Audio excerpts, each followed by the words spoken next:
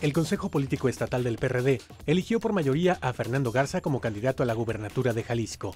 En el mismo acto, Garza tomó protesta y dirigió un mensaje luego de que 10 oradores fustigaron a Enrique Alfaro porque, según dijeron, despreció al partido del Sol Azteca. Entonces, me queda claro, como dijo aquí un compañero, la lucha es contra el PRI, contra el PAN, y les vamos a ganar, porque la propuesta nuestra es mejor.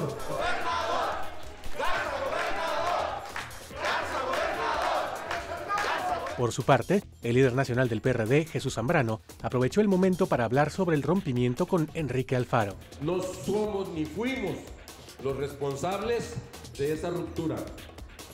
Que carguen otros con la responsabilidad.